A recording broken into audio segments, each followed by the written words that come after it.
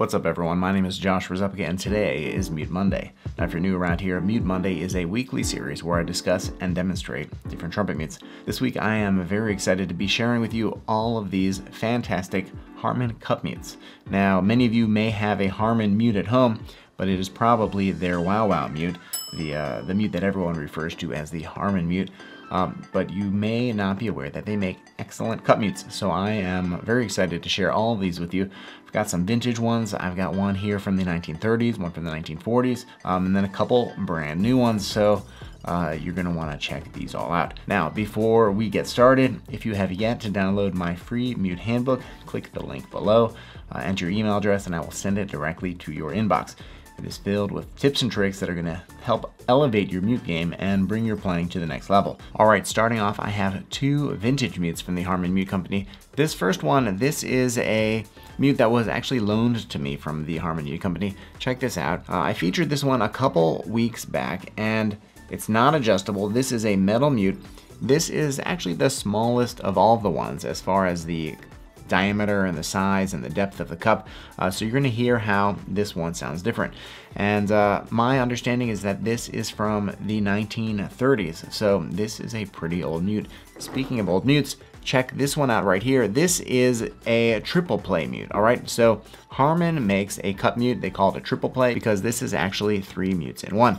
Uh, it is a straight mute, and then if you take this bottom piece off, that functions as a as a wah mute, and then also you put it together and here you have a cup mute. So in today's video, I'm going to be demonstrating the cup mute part.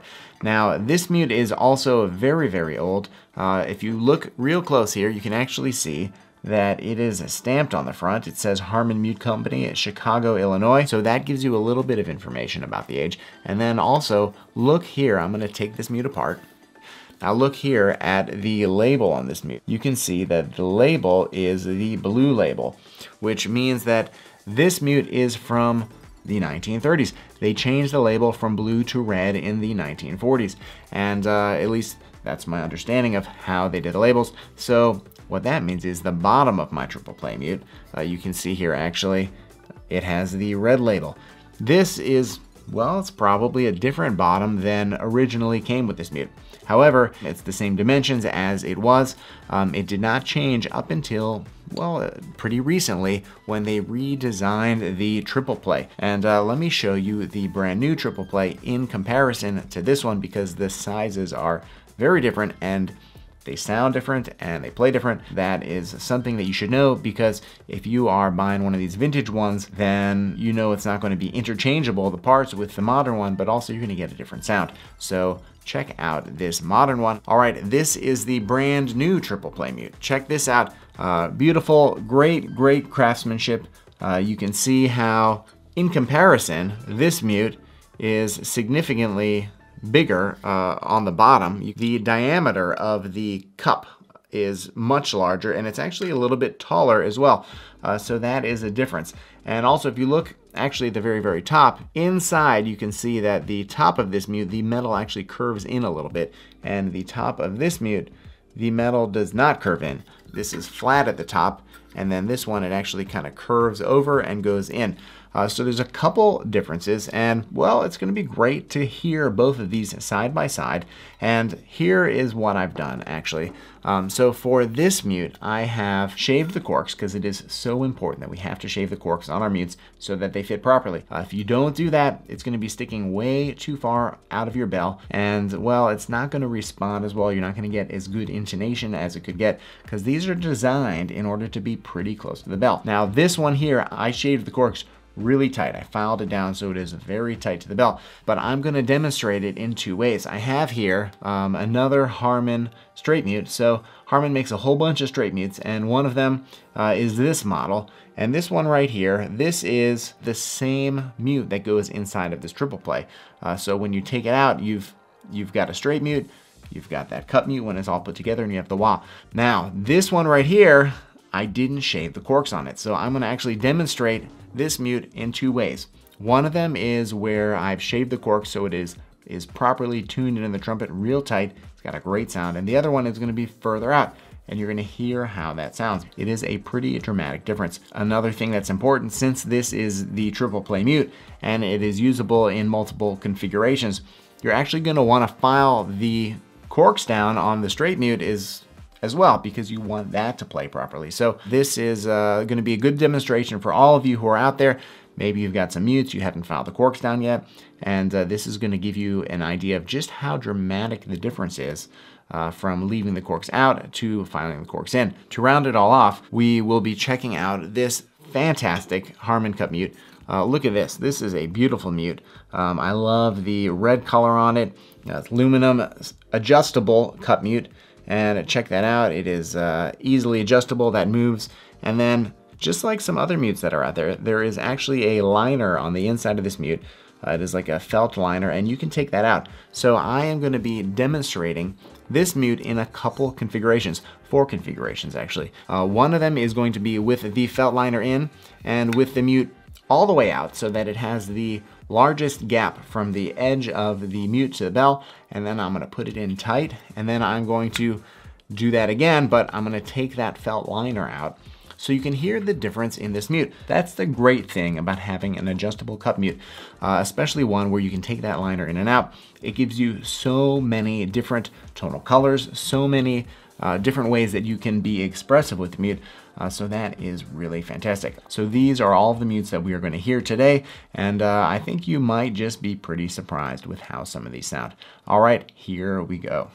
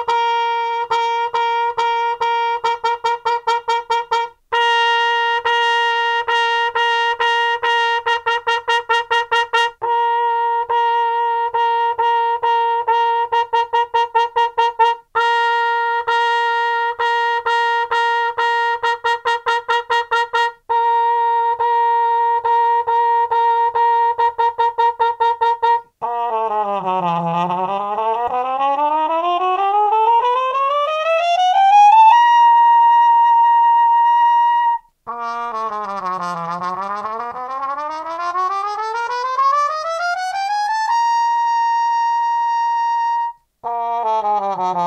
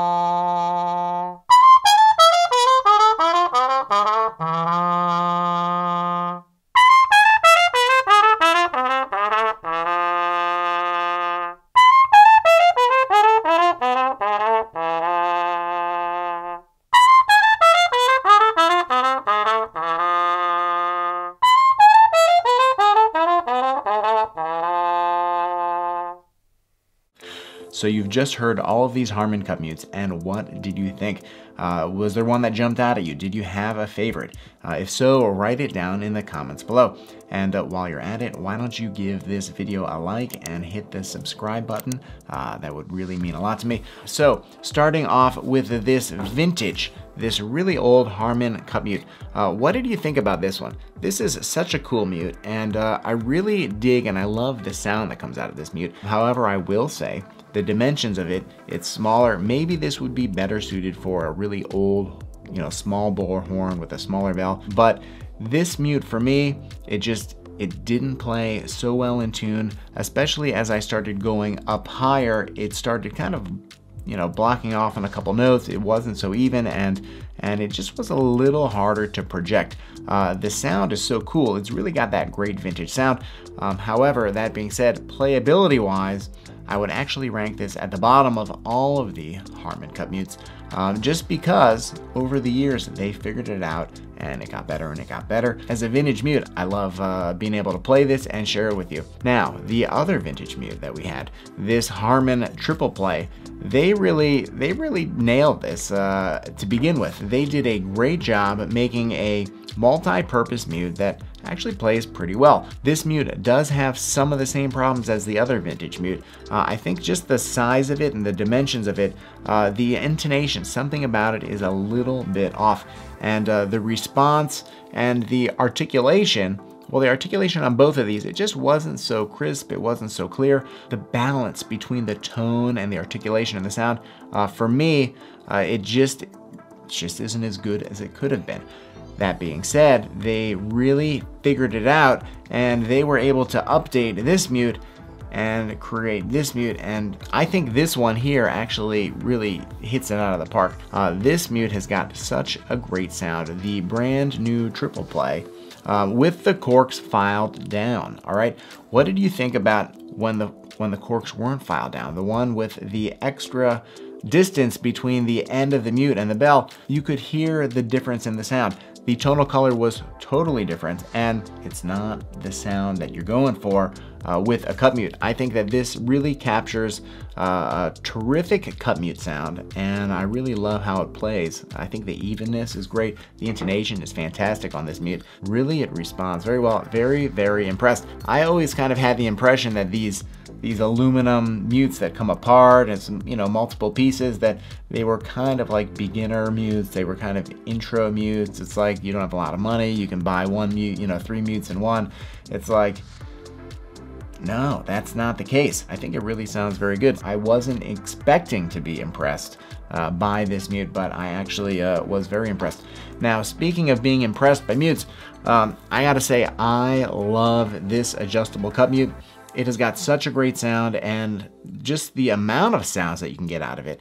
Uh, the intonation, the response from low F sharp up through a high C, through a high D is really uh, pretty spot on with this mute. I love it with the felt on the inside and then taken out, uh, really close, tight into the bell, you know, kind of adjust that. And they have really made a terrific mute. So if you're not familiar with the Harmon adjustable cup mute, well, um, you got to get hip because this is a great option in the cup mute world. And and I think a lot of people will will be impressed with this mute. It is super versatile. It's got a great sound. So uh, kudos to Harmon. You're doing such a great job with these cup mutes. Uh, I was really impressed. I wasn't too familiar with all of your cup mutes before I made this video. Of course, I've got so many of the Harmon, you know, the classic Harmon mutes.